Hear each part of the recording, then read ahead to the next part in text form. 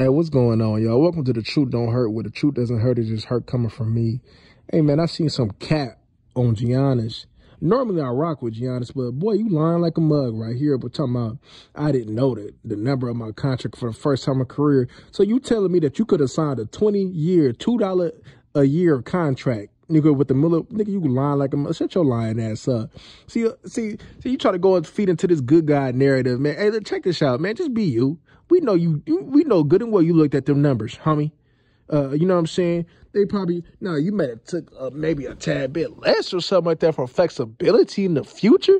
But nigga, for you not to get paid, we knew that's cap. We knew that you were gonna make sure that you got paid you just maybe had to make maybe a small minor sacrifice in the future or took something short term to make flexibility for the future for like Dame or somebody else in the future. But stop the cap like you didn't know what you signed. Like, like see that make see that'd make me stop rocking with a nigga like that, boy. Cause like nigga just be capping, nigga just be talking just to be talking. My nigga, you know good and well you knew what you was signing. Because you telling me that what you so you didn't read the terms, you don't know nothing about what happened.